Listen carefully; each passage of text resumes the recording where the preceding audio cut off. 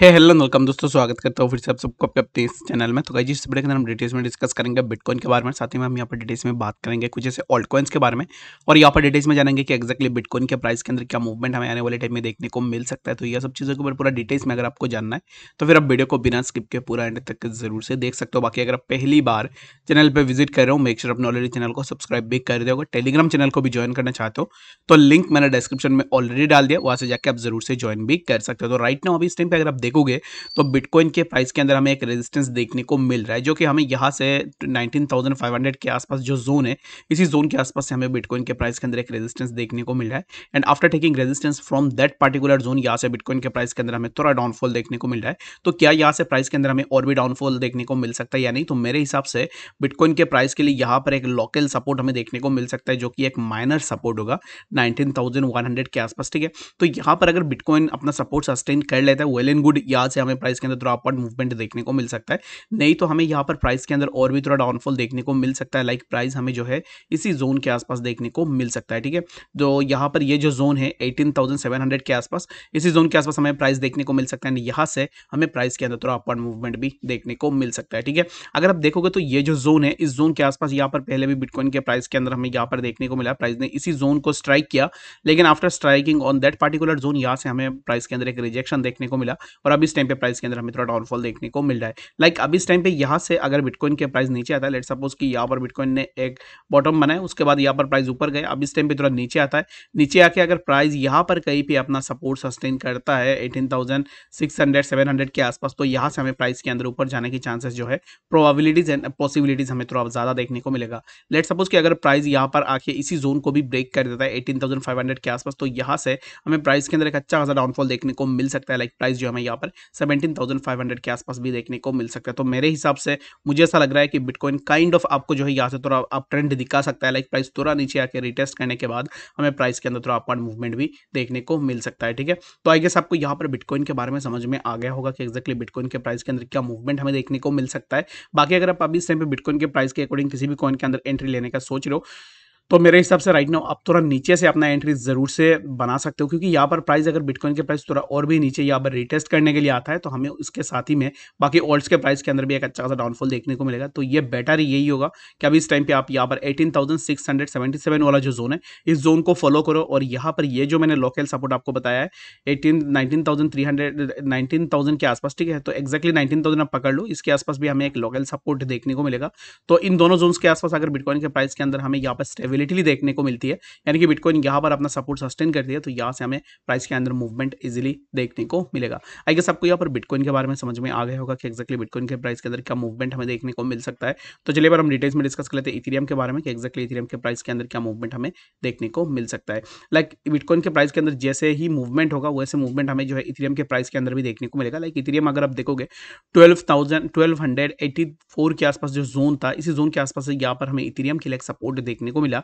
And after taking support from that particular zone यहाँ से Ethereum के प्राइस के अंदर हमें थोड़ा अपवर्ड मूवमेंट देखने को मिला like thirteen hundred ninety two के आसपास हमें प्राइस देखने को मिला अभी इस टाइम पे इथेरियम के प्राइस के अंदर हमें थोड़ा डाउनफॉल देखने को मिला है लाइक बिटकॉइन के प्राइस के अंदर जैसे ही मूवमेंट हमें देखने को मिलता है एक्जैक्टली वैसे मूवमेंट जो है हमें यहाँ पर इथेरियम के प्राइस के अंदर भी देखने को मिलेगा तो अभी इस टाइम पे इथेरियम के प्राइस के अंदर थोड़ा हमें डाउनफॉल देखने को मिल सकता है लाइक बिटकॉइन के प्राइस अगर और भी थोड़ा नीचे जाता है तो इथेरियम भी काइंड ऑफ़ कुछ इस तरीके का डाउनफॉल हमें दिखा सकता है और यहाँ से इथेरियम के प्राइस के अंदर भी हमें थोड़ा अपवर्ड मूवमेंट देखने को मिल सकता है अगर आप मुझे पूछोगे तो मेरे हिसाब से बिटकॉइन के प्राइस के अंदर थोड़ा हमें अपवर्ड मूवमेंट देखने को मिल सकता है। मैं यहाँ पर ये तो नहीं बोलूँगा कि एक्जैक्टली बिटकॉइन के price twenty five thousand twenty six thousand तक चला जाएगा। मेरे हिसाब से price in a shorter time frame price के अंदर हमें थोड़ा मूवमेंट देखने को मिल सकता है। लाइक बिटकॉइन के प्राइस अगर यहाँ से हमें ट्वेंटी थाउज़ेंड के आसपास देखने को मिलता है तो इथेरियम भी इसी जोन के आसपास जाएगा, जो कि है 1415 के आसपास। और इसी जोन से अगर इथेरियम को रेजिस्टेंस मिलता है, और ऑब्वियस सी बात है कि इसी जोन से इथेरियम के अंदर हमें एक रेजिस्टेंस देखने को मिलेगा। तो यहाँ से रेजिस्टेंस मिलने के बाद हमें प्राइस के अंदर थोड़ा डाउनफॉल देखने को मिलेगा। और प्राइस अगर इसी जोन को ब्रेक कर लेता है इथेरियम तो हमें इथेरियम के प्राइस देखने को मिलेगा 1474 के आसपास, ठीक है? तो अभी इस टाइम पे राइट नाउ जैसे कि अगर आप देख सकते हो, कल यहाँ पर फेड के इंटरेस्ट रेट आएगा। तो फेड के इंटरेस्ट रेट के ऊपर डिपेंड करेगा कि एक्जैक्टली मार्केट के अंदर जो भी वॉलेटिलिटी होगा, वो फेड के इंटरेस्ट रेट के ऊपर ही हमें उस वॉलेटिलिटी को देखना पड़ेगा कि एक्जैक्टली जो है मार्केट कौन से डायरेक्शन में हमें जाता हुआ दिख सकता है, ठीक है?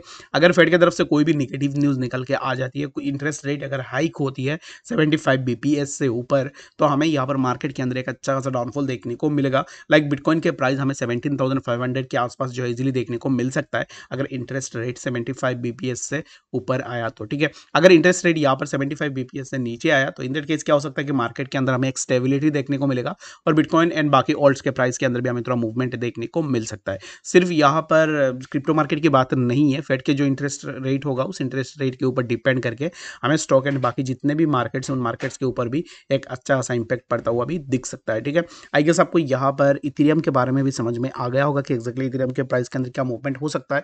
लेट सपोज़ कि अगर फेड की तरफ़ से कोई भी यहाँ पर निगेटिव न्यूज़ निकल के आया, यानी कि फेड अगर सेवेंटी फाइव से ज़्यादा इंटरेस्ट रेट को इंक्रीज करती है तो यहाँ से क्या होगा कि हमें इथेरियम के प्राइस के अंदर भी एक अच्छा खासा डाउनफॉल देखने को मिलेगा। लेट सपोज़ कि जैसे कि अगर यहाँ पर जैसे ही न्यूज़ निकल के आएगा सेवेंटी फाइव बीपीएस से ऊपर तो ये जो जोन है, ये इजीली ब्रेक होगा and after breaking that particular zone हमें यहाँ से प्राइस के अंदर एक अच्छा खासा डाउनफॉल देखने को मिलेगा। लाइक एलेवन के आसपास हमें इथेरियम के प्राइस देखने को मिल सकता है एंड आफ्टर दैट हमें प्राइस जो है एलेवन हंड्रेड सिक्सटी नाइन के आसपास भी देखने को मिल सकता है। तो ये जो दोनों चीज़ें हैं, इन दोनों चीज़ों के ऊपर आपको ज़रूर से देखनी है। बाकी अगर आपने इथेरियम को मिस कर दिया यहाँ पर भी तो मैं आपको यही बोलूँगा कि यहाँ पर एक्जैक्टली मिस आपने नहीं किया है। अगर फेड की तरफ़ से कोई भी यहाँ पर निगेटिव अपडेट निकल के आती है तो यहाँ तक आपको प्राइस देखने को मिल सकता है। और जितना नीचे आप इथेरियम को बाय कर पाओगे, उतना आपके लिए प्रॉफिटेबल होगा। तो इसके लिए आप वेट ज़रूर से कर सकते हो। मैं अभी इस टाइम पे करंटली जहाँ पर प्राइस चल रहा है इथेरियम का, इस प्राइस पॉइंट के ऊपर मैं आपको रिकमेंड नहीं करूँगा एक्जैक्टली एंट्री लेने के लिए। बाकी अगर आप लेना चाहते हो तो ये कंप्लीटली आपके ऊपर डिपेंड कर दिया आप अपने एंड से ज़रूर से देख सकते हो, ठीक है? तो गेस आपको यहाँ पर इथेरियम के बारे में पूरा डिटेल्स में पता लग गया होगा। तो चलिए अब हम डिटेल्स में डिस्कस कर लेते हैं एटॉम कॉइन के बारे में। तो एटम के प्राइस को देखोगे तो एटम के प्राइस के अंदर भी हमें एक अच्छा खासा डाउनफॉल देखने को मिला था, लेकिन अभी एटम कॉइन के प्राइस हमें देखने को मिल रहा है।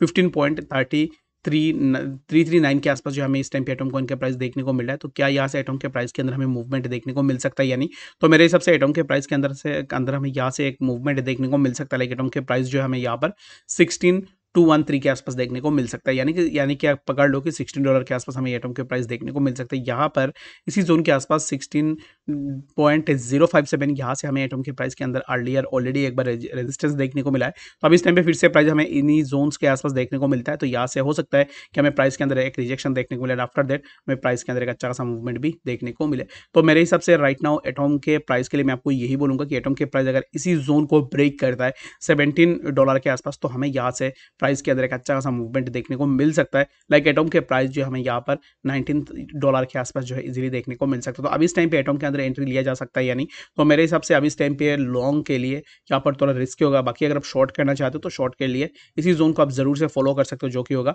सेवेंटीन डॉलर के आसपास, ठीक है? तो आई गेस आपको यहाँ पर एटोम के बारे में समझ में आ गया होगा कि एक्जैक्टली एटोम के प्राइस के अंदर क्या मूवमेंट हो सकता है।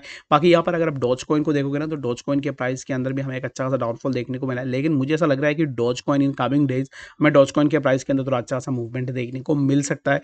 तो बाकी अगर आपके पास डॉच कॉइन होल्डिंग में है फॉर ए लॉन्ग टर्म तो फिर आप डॉच कॉइन को होल्ड ज़रूर से कर सकते हो। लेकिन मेरे हिसाब से डॉज हो या फिर शिबा हो इन कॉइन्स को फाइव हंड्रेड या फिर थाउज़ेंड रुपीज़ का ही होल्ड करनी चाहिए। उससे ज़्यादा अगर आप होल्ड करोगे तो यहाँ पर आपका लॉस होने के चांसेस भी बहुत ज़्यादा हो जाएगा। बाकी मर्ज़ी आपकी यहाँ पर कितनी बड़ी अमाउंट का यहाँ पर होल्ड कर सकते हो। तो अभी इस टाइम पे राइट नाउ डॉज कॉइन के अंदर क्या हो सकता है ना कि डॉज कॉइन के प्राइस के अंदर हमें in short shorter period of time हमें यहाँ से प्राइस के अंदर थोड़ा अपवर्ड मूवमेंट देखने को मिल सकता है। लाइक प्राइस अभी इस टाइम पे चल रहा है zero point zero five eight four five के आसपास तो यहाँ से हमें प्राइस इसी जोन के आसपास देखने को मिल सकता है, जो कि होगा zero point zero six two three seven के आसपास, ठीक है? तो आई गेस आपको यहाँ पर इस वीडियो के अंदर डिटेल्स में सब कुछ समझ में आ गया होगा। बाकी अगर आप डॉट के, यहाँ पर डॉच के अंदर एंट्री लेना चाहते हो तो डॉच के में एंट्री लेने के लिए इस जोन को आप ज़रूर से फॉलो कर सकते हो, अगर प्राइस यहाँ पर फिर से आती है इसी जोन को टेस्ट करने के लिए तो यहाँ पर आप अपना एक एंट्री बना सकते हो यहाँ से प्राइस के अंदर हमें थोड़ा अपवर्ड मूवमेंट इजिली देखने को मिल सकता है, ठीक है?